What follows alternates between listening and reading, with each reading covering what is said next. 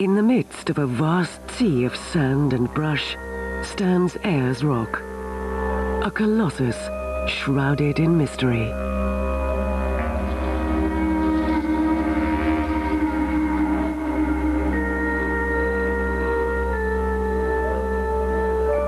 It is called Uluru, or the seat of the ancestors, by the Australian Aborigines to whom the rock is sacred.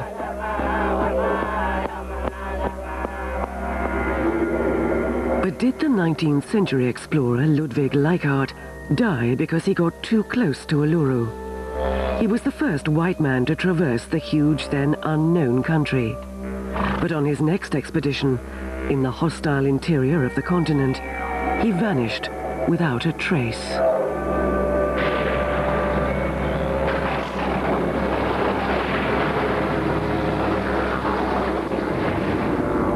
One of the gods of Aboriginal creation is immortalized in Ayers Rock, Namarrgon, the Lord of Lightning, who cleaves the clouds with his stone axe. During the rain season in the tropical north of Australia, there are the most spectacular thunderstorms in the world as the lightning god delivers devastating storms.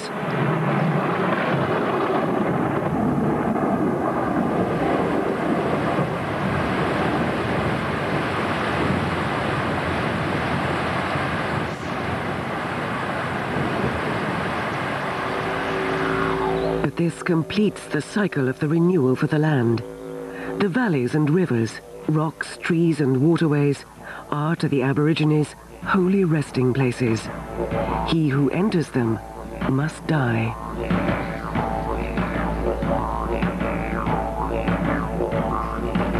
Like all Europeans at that time, Ludwig Leichhardt had no understanding of the worship of the Aborigines. But that was to change. In 1844, he wanted to traverse Australia from east to north. He was thought mad because no one had ever dared to enter the endless space of the unexplored continent. But the young natural scientist was determined to fulfill the dream of his life.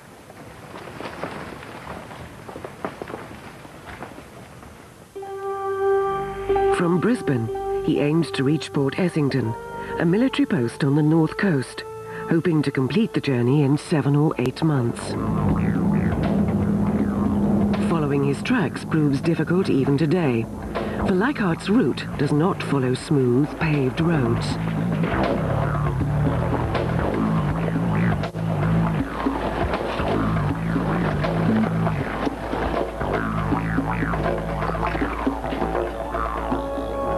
Finding clean drinking water was the biggest problem for the group every day. They faced death from thirst, as most of the rivers were dried out at that time of year. Glenn McLaren understands how serious this problem was, as he wrote a doctorate on Leichhardt's expedition. He followed the old route for over 4,000 kilometers by horse and motorbike, comparing Leichhardt's location entries with his own. He could recognize the actual camps and the waterholes Leichhardt used. Leichhardt and his expedition members frequently were forced to drink water such as this, which is contaminated, even smelling on occasions, but they had no option. In, in, in most instances in arid inland Australia, uh, water's scarce and they would have had to have drunk out of small pools, contaminated pools such as this, and once they and their stock had, had depleted the, the supply, they would even have had to have dug down into the ground and let the water trickle back in. Countryside has hardly changed. The adventurers had to cross this rugged terrain, a challenge for both man and animal. They passed by holy places, unaware of the potential danger.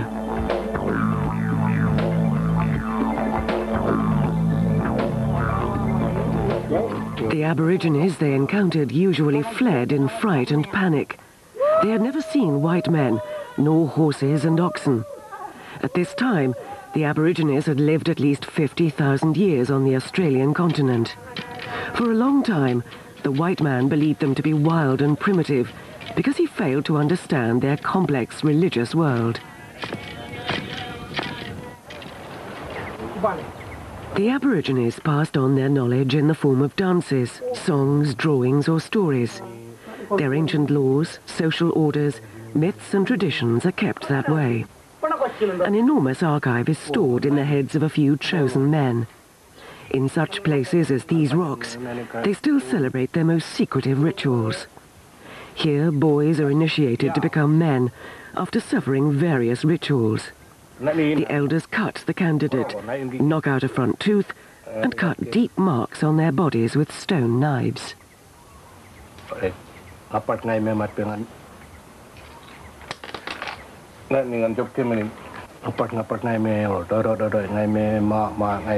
Ancient tablets of wood or stone, Tjurungas, are engraved with magic symbols, coded messages from the dream time when their ancestors created life and land. Dream paths cross the continent like an invisible net.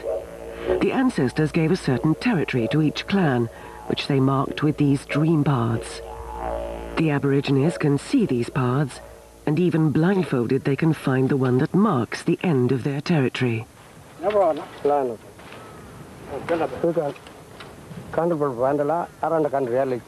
Because the Aborigines see mankind and nature as a unity, they feel part of the land.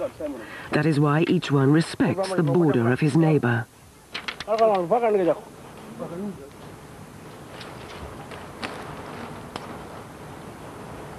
Ludwig Leichhardt was interested in the lifestyle of the Aborigines.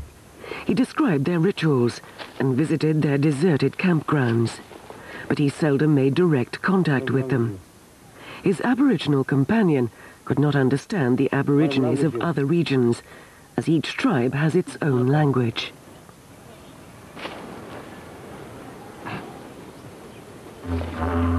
The didgeridoo is possibly the oldest musical instrument in the world. The sound is made by a special breathing technique and the vibration of the lips on a hollow branch.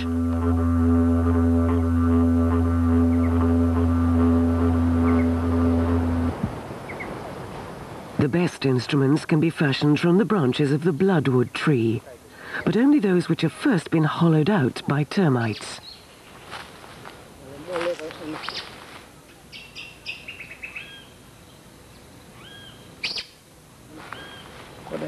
These men can recognize the best branches to use, even though nothing can be seen on the tree from the outside.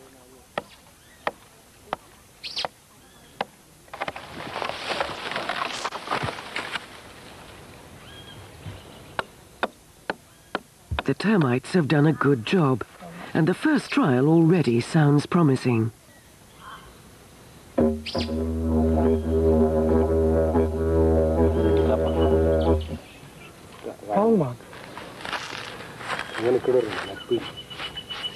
The guardians of the ancestral knowledge are allowed to paint the didgeridoo with red or yellow ochre, together with chalk and charcoal.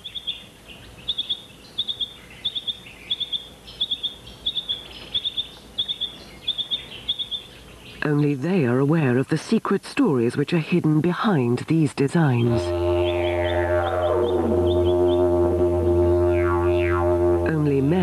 Allowed to play the didgeridoo at ceremonies, when it is transformed into a holy instrument. On his journey, Leichhardt discovered Australia's biggest coal deposits. He meticulously noted what he discovered on his maps. The layers of coal are right under the topsoil. Leichhardt didn't have an official request to search for mineral resources. But as a serious natural scientist, he could not pass this way blindly. And Australia has profited from his precise observations. This is one of the largest uranium mines in the world, the Ranger Mine. When Leichhardt passed here, the radioactive metal had no scientific significance and its danger was unknown. Leichhardt's plan was to reach his goal in eight months. He'd only covered half of his route when he made a fatal detour, which cost him another five weeks. It was the only time he made a mistake. His compass was broken, and he only had a sextant and an inadequate map to find his position. Technology today makes orientation child's play in comparison, using the Global Positioning Satellite System. Both his recorded latitude figure and my GPS reading, which I've just taken, um, agree closely. In, in fact, his latitude reading is only approximately 400 metres to the south of this in error. Compared to the other major Australian exploration figures, uh, his results stand up particularly well and, and certainly the criticisms of him cannot be substantiated. It really was an outstanding achievement. The Aborigines do not need any instruments. They know their territory in their sleep. Their photographic memory stores details of the landscape that may seem irrelevant, but which allow them to find even the most remote waterhole or ritual place. For a long time, they had to watch helplessly as the white man desecrated their holy grounds out of either ignorance or insensitivity.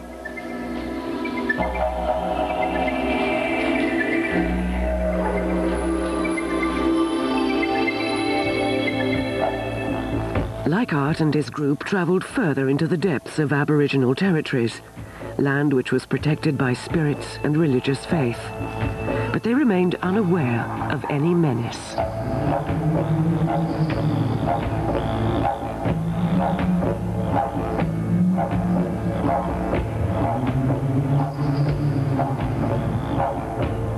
On June the 28th, 1844, they camped at the edge of a lagoon. They were in a relaxed mood. They were not lost and had had a good meal at last. That day, everything was fine.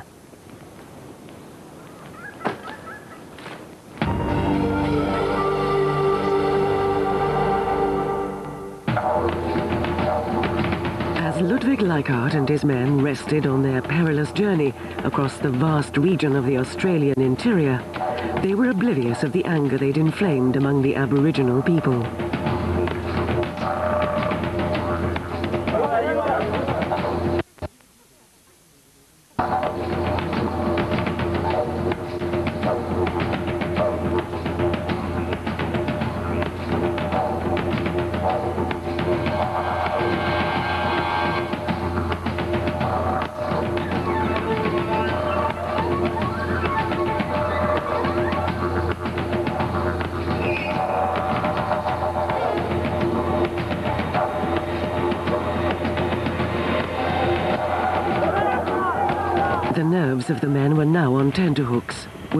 Aborigines strike again? Would they reach their goal or perish miserably? By now, the rivers, which were mostly dry before, were in flood and had turned into huge obstacles.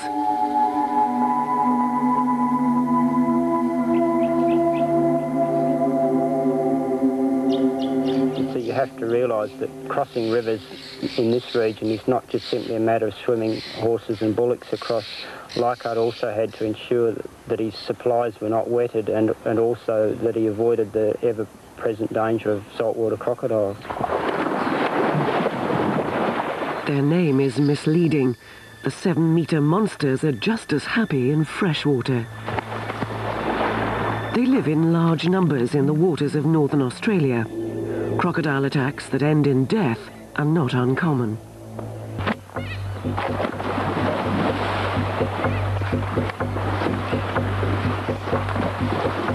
The chain of mishaps for Leichhardt did not end. Four horses drowned in one river, and with that, Leichhardt had no more reserve animals. He had to leave behind a large part of his botanical collection. Finally, after months of terrible struggle, they saw the sea on the distant horizon.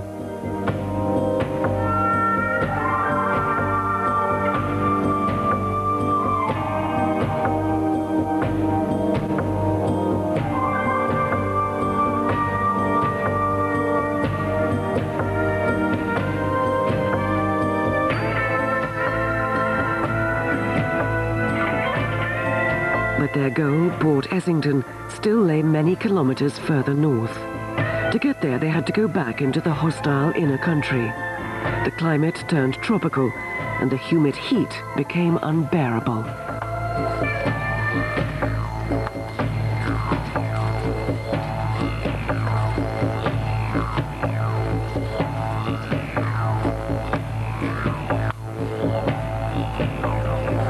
They were in no position to acknowledge the landscape. Spectacular rock paintings of the Aborigines stayed hidden from them. In the Kakadu National Park, as well as in neighbouring Arnhem Land, are 20,000 such open-air galleries, forming the largest collection of rock paintings in the world. Leichhardt mentioned only one rock painting, a tortoise of red ochre.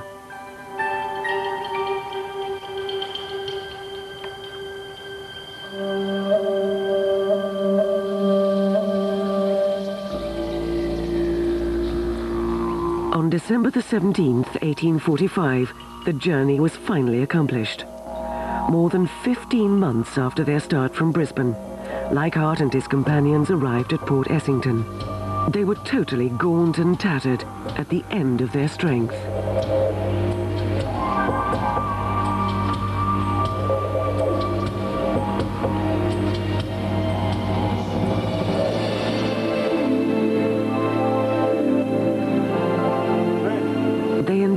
Inhuman strain, becoming the first to discover an east-north route through the Australian continent.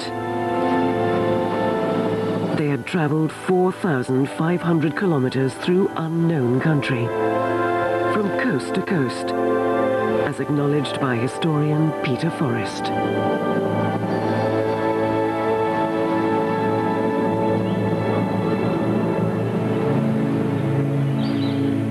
Was a great moment for Leichhardt personally, but it was a great moment in Australian history because Leichhardt had travelled over more than 4,000 kilometres of unknown country.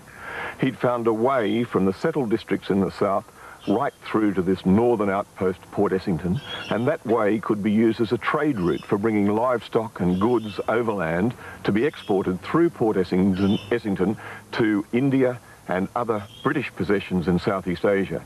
So Leichhardt brought the southern settled parts of Australia into the closer embrace of the British Empire. So it was a great personal triumph for Leichhardt, achieved at a time when other Australian explorers were being forced into retreat.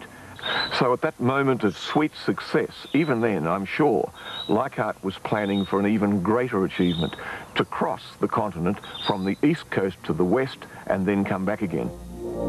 But this achievement was never realized. The entire expedition disappeared somewhere in the immensity of Central Australia without a trace. There were eight men, equipment, provisions, 50 oxen, and 20 pack mules. Search parties brought back only rumors and assumptions. 64 years later, in 1912, this ornamental metal piece from a rifle appeared. It was supposedly found at a spot that is not marked on any map. Further research is impossible, but this piece of metal originates from the time Leichhardt disappeared. The last big search expedition was dispatched by the Australian government in 1936. Farmers had found human bones on the edge of the vast Simpson Desert. This expedition discovered the remains of a large camp. After sifting many cubic meters of sand, they found two English coins, among other objects. Both were in circulation three years before Leichhardt's disappearance. They also found the remains of a leather sole with easily recognized seam holes. The skeletal parts and tooth fragments were Aborigine, and two of Leichhardt's companions had been Aborigines. There were also some pieces of metal, but these were unidentifiable. More recently, more bones have been found in various places in the Simpson Desert. Perhaps in these remote places, the grave of the explorer will be found after 150 years. How could Ludwig Leichhardt have perished? Did he drown in the desert? It sounds absurd, but if it rains for weeks further north, gigantic flood waves crash through the dry river valleys and carry everything before them in their path.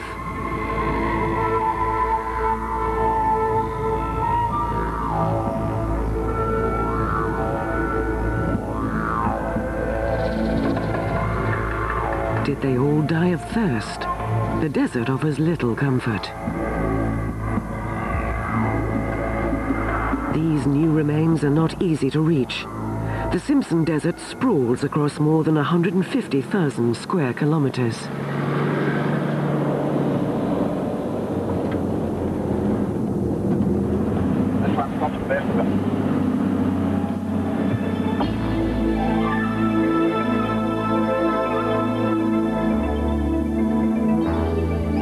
Five experts from Brisbane meet at the site. They're all scientists, a forensic doctor, an archaeologist, and two gene specialists. about uh, 20 hours altogether. Oh, well. We've been on the go ever since we left. They can identify Ludwig Leichhardt's skeleton if they can match the DNA from the bones with the blood of his great-great-nephew, who was traced in Germany. The extracted genetic fingerprints would solve the uncertain destiny of his famous relative. But for that, the forensic scientists must first determine if these are the bones of a white man.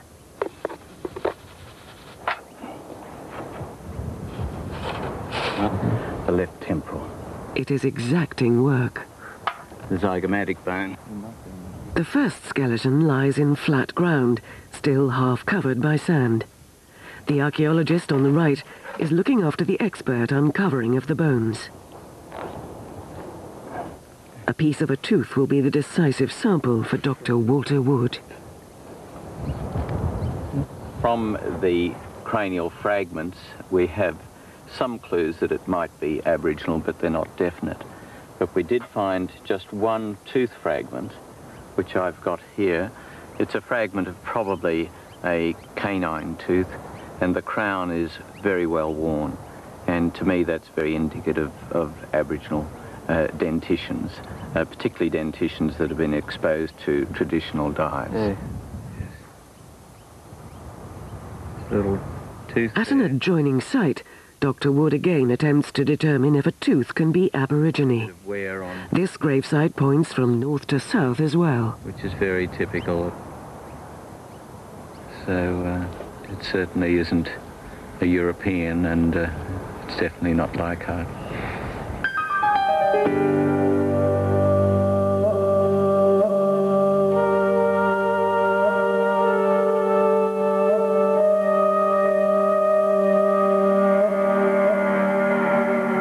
The scientists arrive at a sobering conclusion. To, to, my, my, to my way of thinking, it, it definitely suggests it's an Aboriginal burial. Yeah. Um, pro- yeah. Still, still oriented in the same way as those other Aboriginal burials, and uh, And it's got this cultural material here too, which Yeah. would suggest that it is Aboriginal. yeah, for sure. So where in this mysterious heart of Australia is Leichhardt's grave? The immense emptiness may never give it up.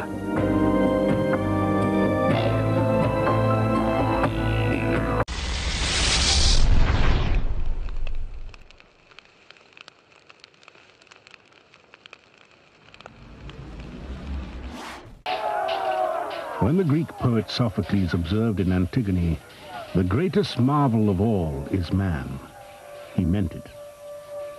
Men in ancient Greece considered women physically and intellectually inferior. As second-class citizens, they could not own property and most remained uneducated.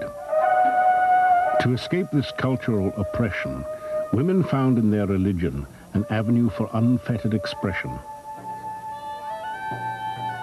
They worshipped their own gods and goddesses, celebrating their fertility in a religious ceremony called the Thesmophoria, a secret ritual forbidden to men.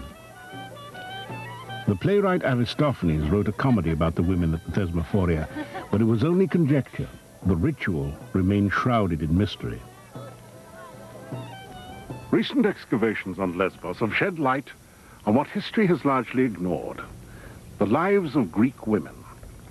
Archaeologists have discovered one of the sanctuaries where the mysterious rites of the Thesmophoria took place. Their findings may hold the key to one of the best kept secrets of the ancient world.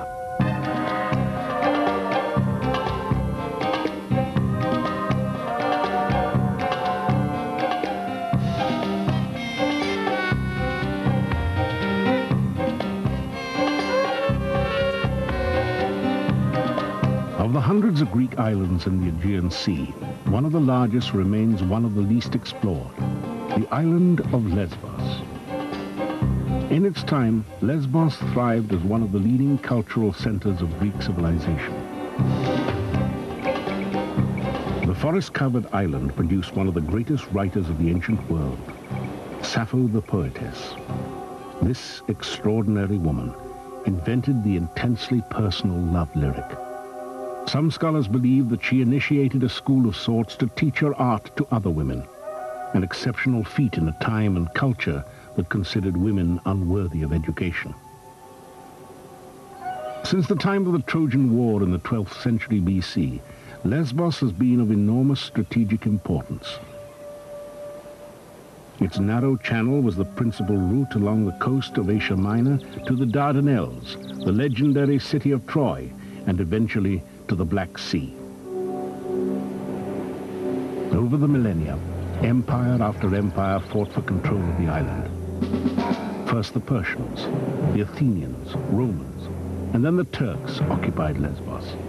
Every conquering culture has had a lasting impact. Despite its rich history, the island remained largely unexplored by archaeologists. Much of the island's past has been obliterated by its modern cities.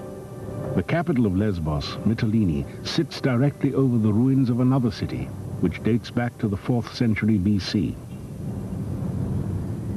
In 1983, an international team of scholars led by Canadian archaeologist Hector Williams began the first systematic study of Lesbos.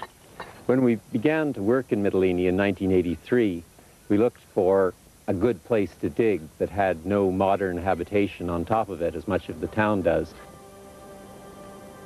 High on the outskirts of Mytilene are the remains of a sprawling medieval castle. Williams and his team reasoned that an even more ancient citadel might well lie beneath it. They hoped the castle had protected the site. Faced with the enormity of the castle grounds, the team borrowed a tool from geologists, a resistivity meter, to help them locate underground anomalies.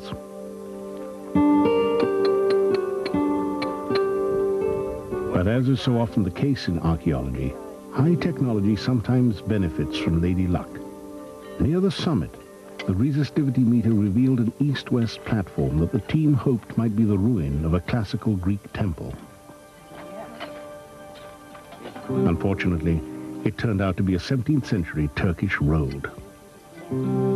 But as they dug through the dirt and further back in time, they came upon more exciting finds. In 1984, when we got permission to dig our first test trench at the site, we, for the first few days, went down through very thick layers of Turkish material. And we thought, oh no, we may not have anything earlier.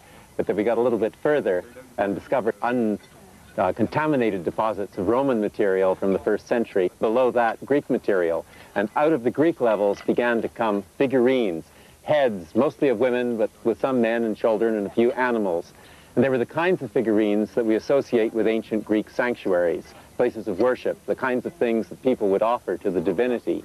And we knew then that somewhere nearby there must be an ancient sanctuary. Hundreds of fragments of female terracotta figurines dating to the 4th century BC pointed to the religious significance of the site. Clearly they had located an ancient sanctuary a temple to a god or a goddess, but to which one?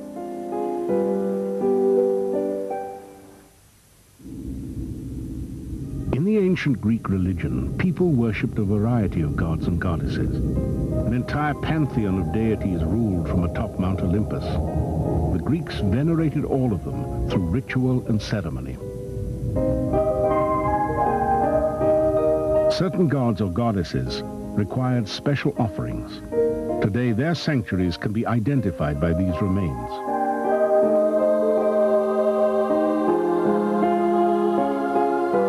Because the figurines found at the site were mostly of women worshippers, often with their hands upraised in prayer, the team concluded that they were associated with female deities. The most important type for identifying the divinity of the sanctuary was this variety here, a woman with a hydria or water jar on her head. This kind of hydrophoros, as she's called, is always found in Demeter sanctuaries and thus indicated to us that we were on the trail of the goddess. In Greek mythology, the goddess Demeter was never far from her beloved daughter Kore. Hades, the king of the underworld, fell passionately in love with the beautiful Kore. He kidnapped and stole her away to the underworld. Kore's mother, Demeter, was seized with grief. In her mourning, she allowed the world to grow cold and the land to fall fallow. Concerned with the death that was gripping the earth, the other gods finally intervened. They persuaded Hades to release Kore to her mother.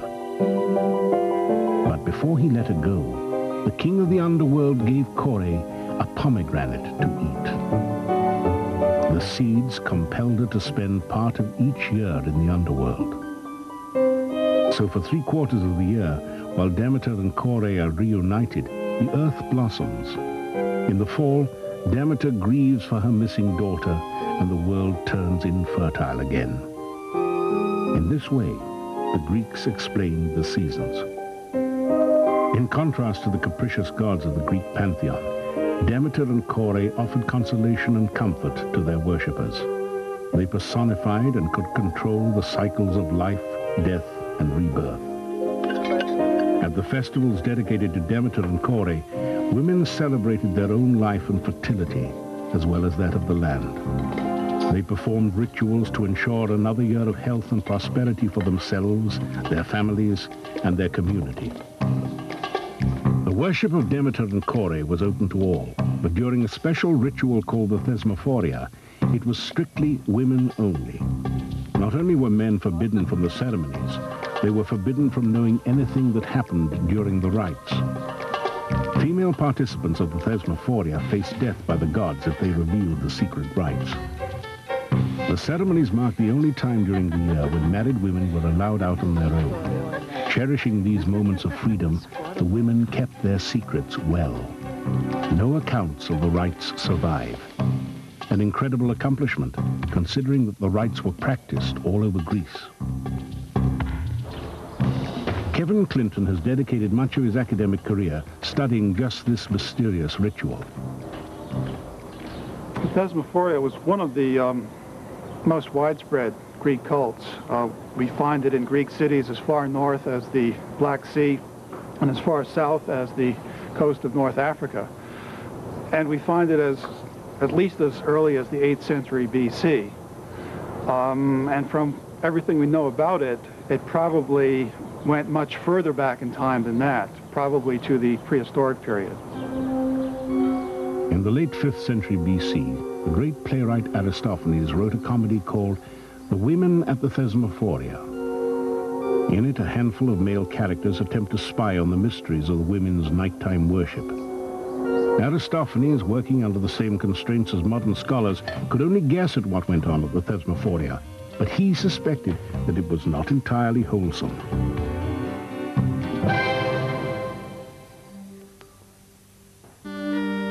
The excavations on Lesbos produce literally tons of pottery used in sanctuary offerings.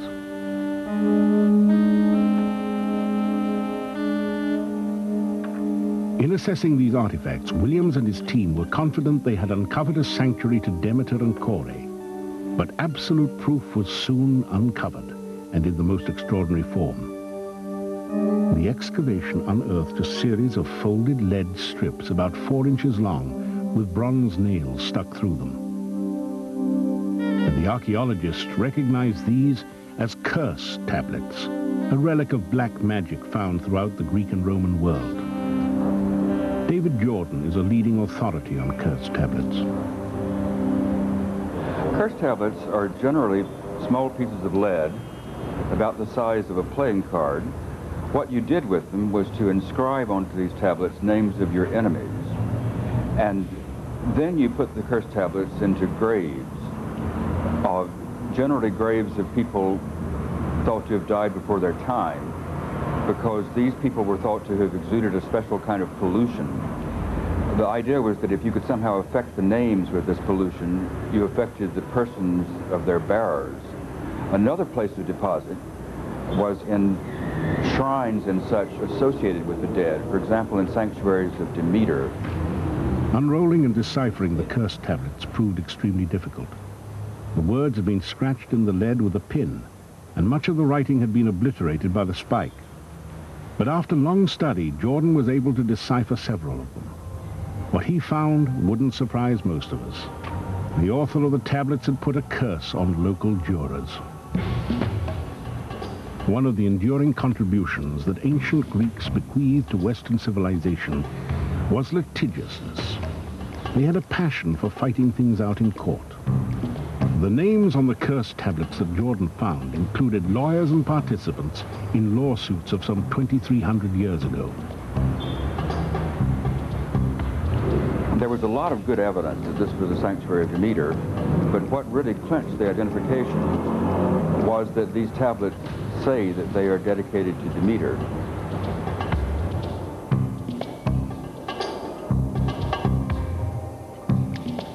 The sanctuary of Demeter proved to be a popular place, capable of holding hundreds, even thousands of worshippers. Well, the center of the Thesmophorian festival probably took place in this large altar here. We know it's an altar because within it were found numerous burned grains, and these would have been burnt as offerings to Demeter herself.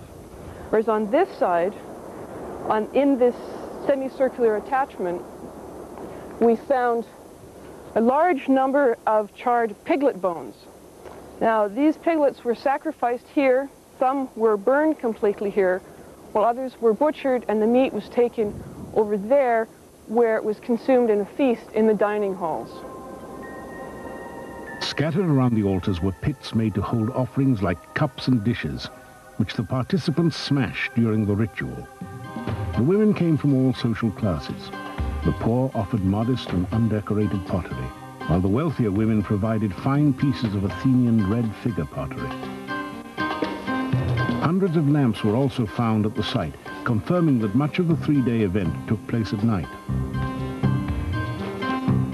The burn marks on these lamps indicate that they were used just once and discarded, in much the same way as votive candles are used in a church today. But most poignantly, the fragments of thousands of terracotta figurines testify to the popularity of this sanctuary through the centuries. These fragile pieces of art were sculpted specifically as offerings. We found a great variety of different types of figurines in the sanctuary. Some were beautiful products of the coroplast or the figurine maker's art. For example, this old woman of the second century before Christ is very well modeled and is really clear depiction of age. Others, however, are somewhat cruder, like this younger woman's face. We also have animals, like these horses, or a rather endearing little dog in this case. Not all animals are quite so well done. Uh, a bird, for example, is very crudely rendered. All in all, we must have close to a thousand inventoried figurines from the sanctuary now, and as I mentioned, dozens of different varieties among them. After the festival ends, and bury them as permanent offerings. Archaeologists uncovered yet one more clue which added to the... of the pound doesn't fall... Throughout the sanctuary, the remains of thousands of animals were found, slaughtered as sacrificial offerings.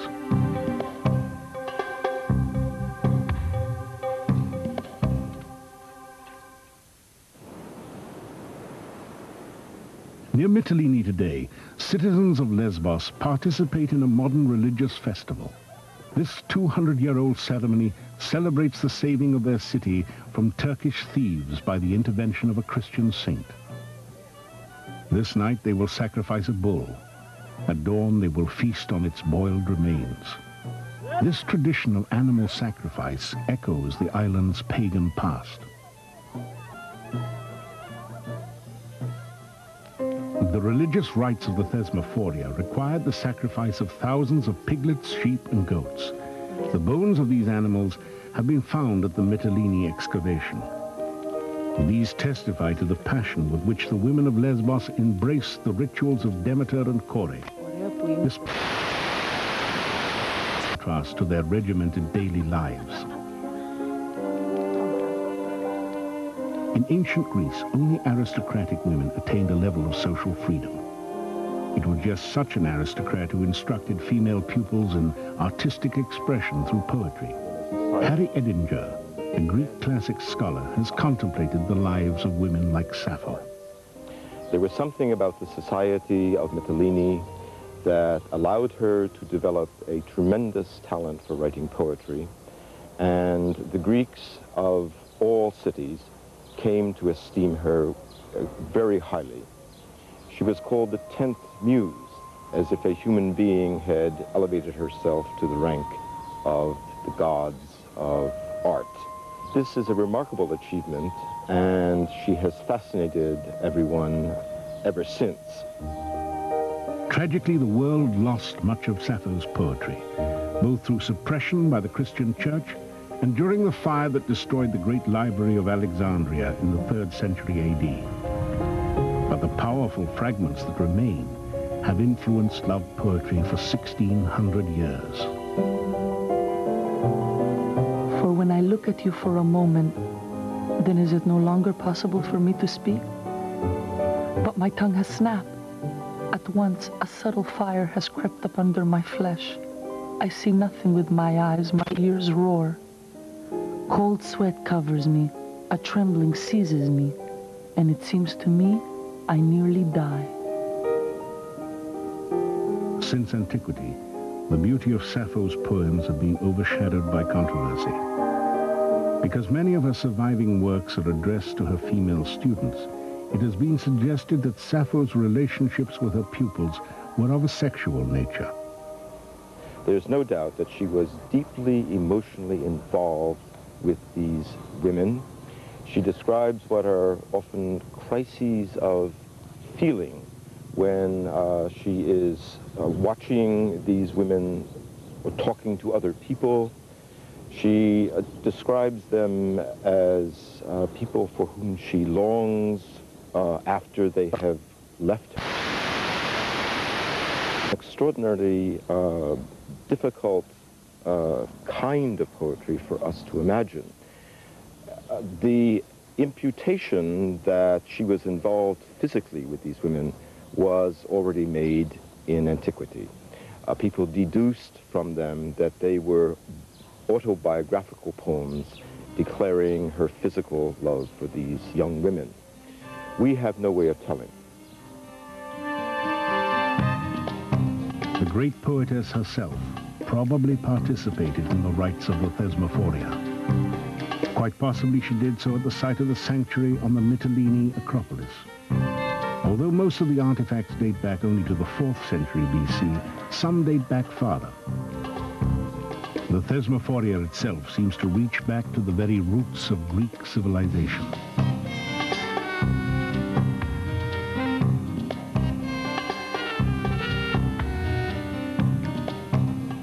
Here and there we find pockets of pottery going back to her age, around 600 years before Christ. We pull out sherds like this one, and who knows? She may have eaten from it, she may have drunk from it. It's the right time, but unless we were to find an inscription or some sort of incontrovertible evidence like that, it can only be an attractive hypothesis.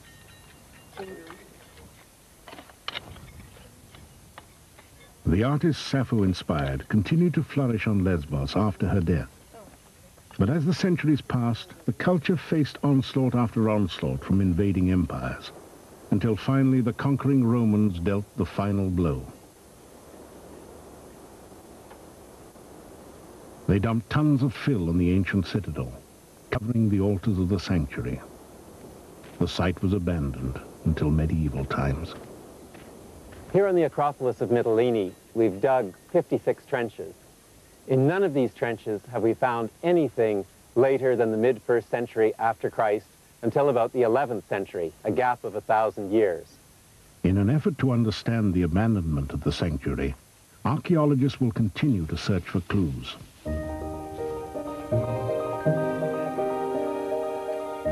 It's possible that they moved it somewhere else in the city. It's possible that it became unfashionable. It's possible the area became taboo for some reason.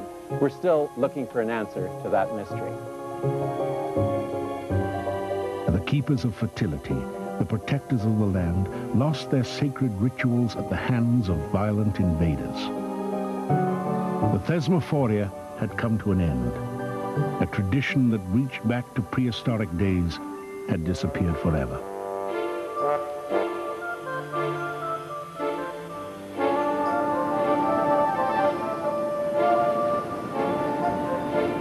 Of ancient Greece spent much of their lives following the societal conventions of the day. They expressed their feelings to each other and to their goddesses. Exactly what went on during the ceremonies of the Thesmophoria may never be fully revealed, but the voices of the women who came to the sanctuary to escape the drudgery of their daily lives still echo on the island of Lesbos.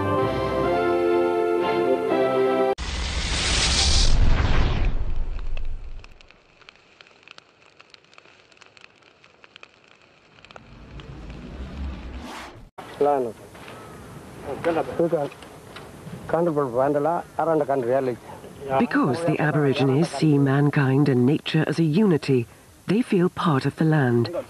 That is why each one respects the border of his neighbor.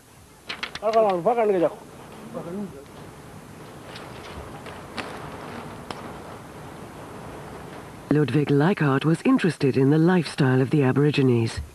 He described their rituals and visited their deserted campgrounds, but he seldom made direct contact with them. His Aboriginal companion could not understand the Aborigines of other regions, as each tribe has its own language.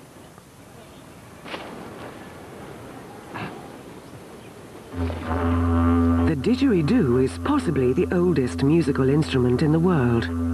The sound is made by a special breathing technique and the vibration of the lips on a hollow branch.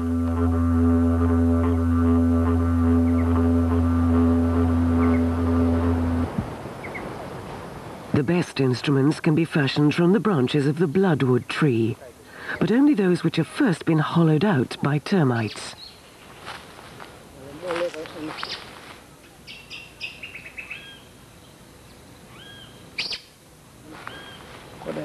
These men can recognize the best branches to use, even though nothing can be seen on the tree from the outside.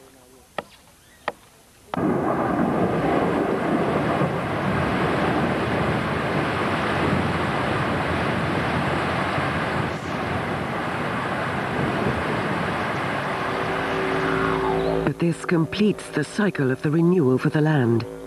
The valleys and rivers, rocks, trees and waterways are to the Aborigines holy resting places. He who enters them must die.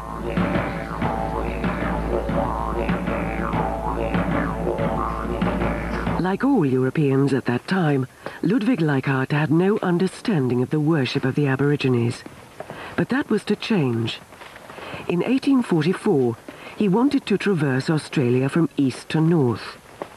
He was thought mad because no one had ever dared to enter the endless space of the unexplored continent. But the young natural scientist was determined to fulfill the dream of his life.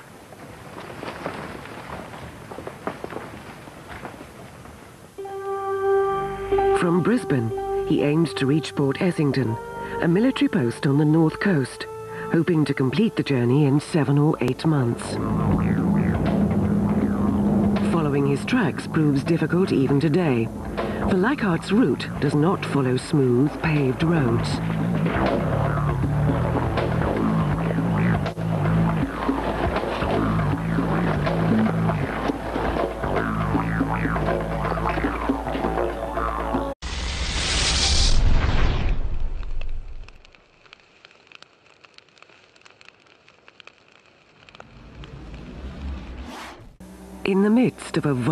Sea of sand and brush stands Ayers Rock, a colossus shrouded in mystery.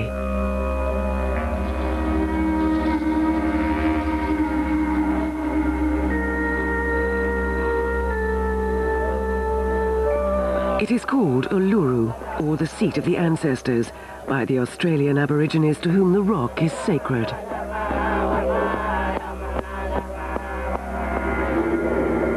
Did the 19th century explorer Ludwig Leichhardt die because he got too close to Uluru? He was the first white man to traverse the huge, then unknown country.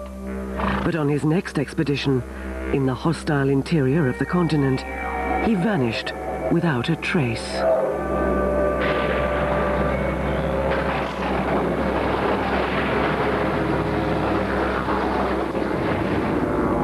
One of the gods of Aboriginal creation is immortalized in Ayers Rock, Namarrgon, the Lord of Lightning, who cleaves the clouds with his stone axe.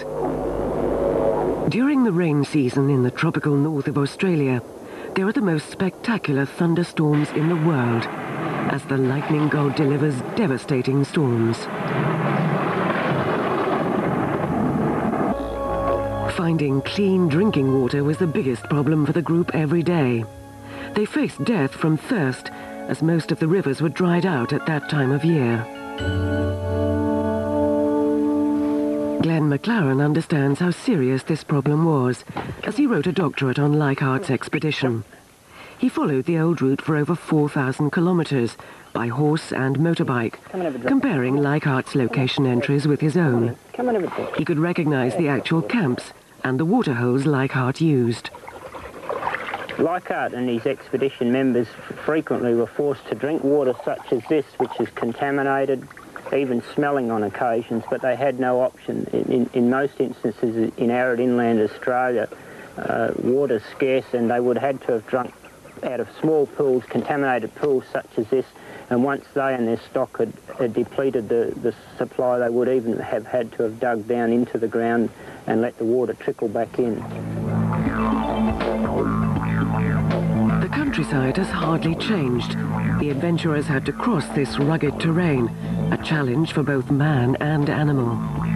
They passed by holy places, unaware of the potential danger.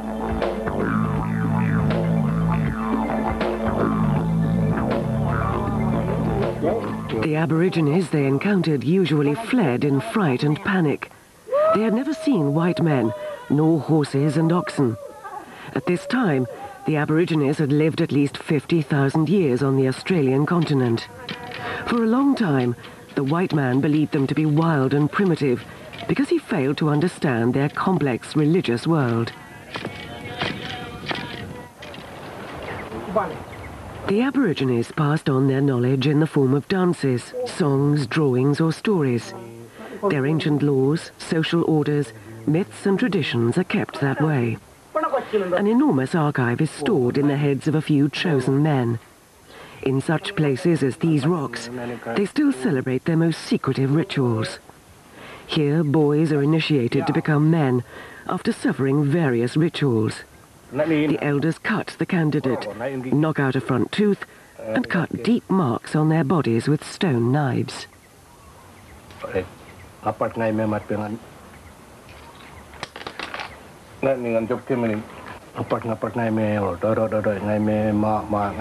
Ancient tablets of wood or stone, Tjurungas, are engraved with magic symbols, coded messages from the dream time when their ancestors created life and land. Dream paths cross the continent like an invisible net. The ancestors gave a certain territory to each clan, which they marked with these dream paths. The Aborigines can see these paths, and even blindfolded they can find the one that marks the end of their territory.